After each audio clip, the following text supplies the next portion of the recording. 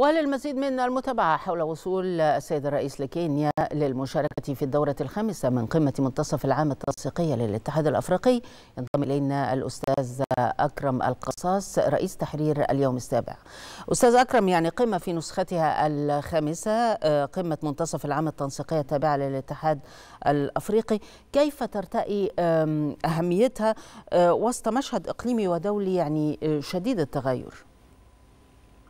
يعني بالتأكيد مصر لم تتوقف قوه الدولة مد جسور التعاون توسيع دوائر الشراكة والتعاون والتكامل مع القارة الأفريقية من كافة المجالات. طبعا يعني هذه القمة مهمة يمكن في مايو اللي فات كانت قمة الكوميسا ومصر سلمت الرئاسة إلى زامبيا والكوميسا فيها جزء منها من المهم فكرة التكامل الصناعي الإقليمي استراتيجية التصنيع يعني القمة دي يمكن كانت أحد الآليات اللي مصر آه يعني أطلقتها في رئاستها للاتحاد الأفريقي على اعتبار إنه توزيع المهام وتوزيع المهام المختلفة بين الدول الأفريقية وبين الآليات المختلفة آه لأنه اتفاقية التجارة منطقة التجارة الحرة القارية الأفريقية دخلت حيز التنفيذ في 30 مايو 2019 وتم التصديق عليها من برلمانات 24 دولة أفريقية.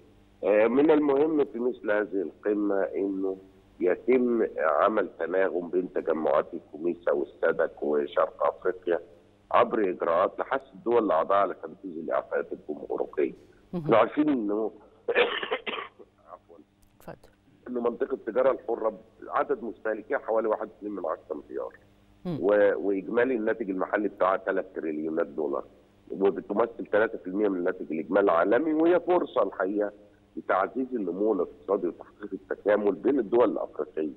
وجهود مصر في تدعيم التنمية الشاملة في أفريقيا واضحة باعتبار إن منطقة التجارة الحرة أحد المشروعات طموحة يعني الواردة في أجندة 2063 وإحنا كمان الحقيقة من خلال ما بعد الكوميسا وبعد تطوير هذه العلاقات المصرية الافريقيه على مستويات مختلفة التبادل التجاري داخل دول الكوميسا وصل 13 مليار دولار 22 وأعلى قيمة يعني. وكمان التبادل التجاري بين مصر ودول الكوميسا وصل 4.3 مليار دولار.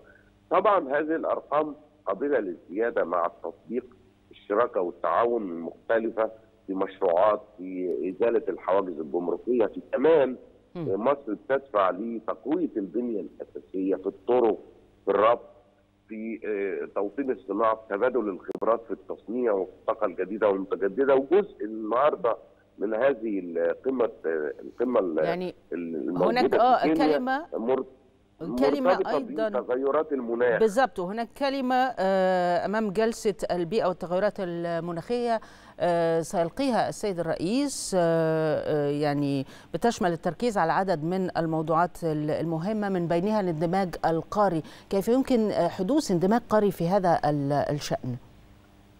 الاندماج القاري والتكامل بينطلق في الأساس زي ما إحنا قلنا الرؤيه المصريه إنه ازاله الحواجز ازاله الحواجز لا تتم يعني نظريا لكنها بتقويه الطرق يعني القاهرة في دوله أحد الطرق المهمه جدا للربط القاري في الربط الكهربائي في التعاون فيما يتعلق بمشروعات البنية الأساسية وتوطين التكنولوجيا وتوطين الاتصالات و النقل سواء النهري أو البحري أو البري بين دول القارة الأفريقية وده بيستلزم الحقيقة دعم الدولة الوطنية وتقوية المؤسسات بالشكل اللي يخلي فيه تأمين لهذه الطرق وقدرة على إنها تنقل هذه البضائع تبادليا من الشمال إلى الجنوب.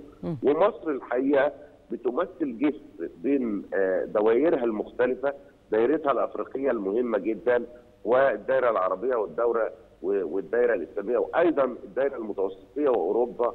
وإحنا عارفين إنه مصر سعت خلال السنوات رئاستها الاتحاد الأفريقي أو حتى بعدها لأنها تعقد قمم مختلفة مع اليابان قمه أفريقيا اليابان أفريقيا روسيا أفريقيا الصين بالفعل. أفريقيا أوروبا أفريقيا الولايات المتحدة كلها بتمثل جسور لهذا الأمر لأنه شبكات الطرق والربط الكهربائي والربط الاتصال كلها عوامل مهمة جدا فيما يتعلق في توطين الصناعات وخلق قيم مضافة وعدم البقاء في سجل الخامات فقط ولكن إضافة قيم مضافة في الصناعة وفي التجارة وفي غيره نعم. بالنسبة للمنتجات الأفريقية. نعم أستاذ أكرم القصاص رئيس تحرير اليوم السابع كنت معنا هاتفيا شكرا جزيلا لك.